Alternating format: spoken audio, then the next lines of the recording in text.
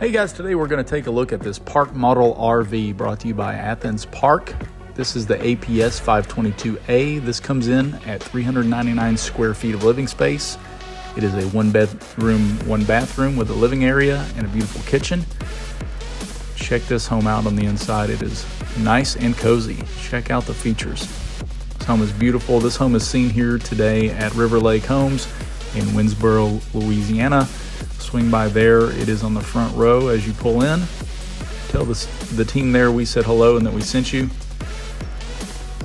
I hope you do enjoy this video tour. Do like and follow to support our content. And thank you so much for watching. We hope you enjoyed it.